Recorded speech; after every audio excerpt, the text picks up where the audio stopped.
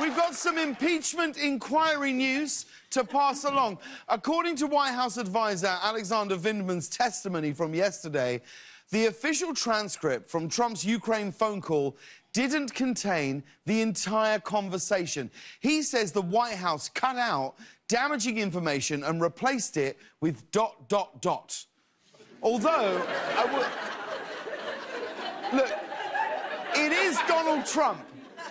It's Donald Trump. It's entirely possible he just said dot, dot, dot.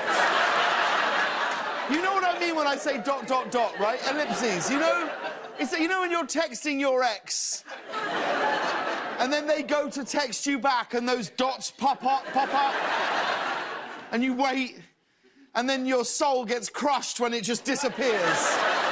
That's what we're talking about. Here's the thing do we even need to fill in the blanks? The edited transcript was more than enough to start an impeachment inquiry. This is like a detective on a crime scene saying, obviously, a murder occurred here.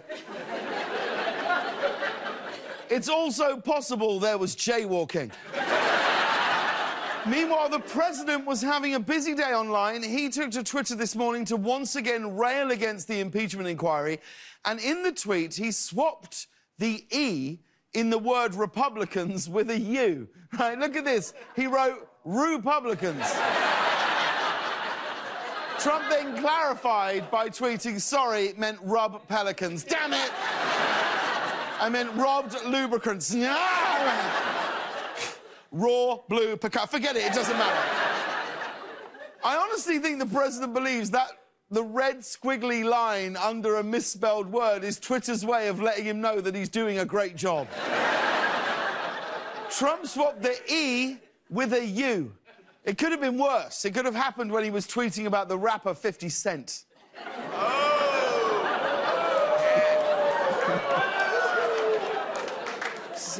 Hard to know whether that joke will make the show tonight.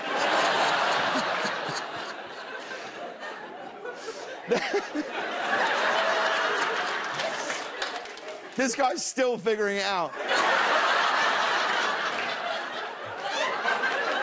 Wait. There it is. Okay. then later in the day, the president tweeted out a photoshopped image of himself giving a fake medal to the hero dog from the recent ISIS raid in Syria with the words American hero. Look at that. I know, I like this. I like, you know what? Impeachment over. you keep the adorable animal photos coming, we're cool. It's all cool. Now, this is a fake photo. If you look closely enough, you can practically hear Donald Trump whispering to the dog, You know, a doctor can get you out of military service, right? In other political news, Twitter came out with a major announcement today. They will no longer allow political advertising on their platform. Yeah, it's a yeah, it's amazing. So now. I think it's kind of a great thing. I, I really think it is. So now, if you want to see dishonest political ads, you'll have to head over to literally any other website on the internet. No political advertising on the Twitter platform. I'll tell you, if the founding fathers were alive, they would have no ability to remotely understand this. and, and finally, Halloween is tomorrow, and if you're looking for a last-minute costume idea, check this out. An online costume shop is, is selling a sexy Miss Impeachment Halloween costume. As if the idea of Trump getting impeached wasn't sexy enough already. a Miss Impeachment costume, or if you want to dress as something scary, there is nothing on earth more terrifying than the re elected for a second term costume. Reggie,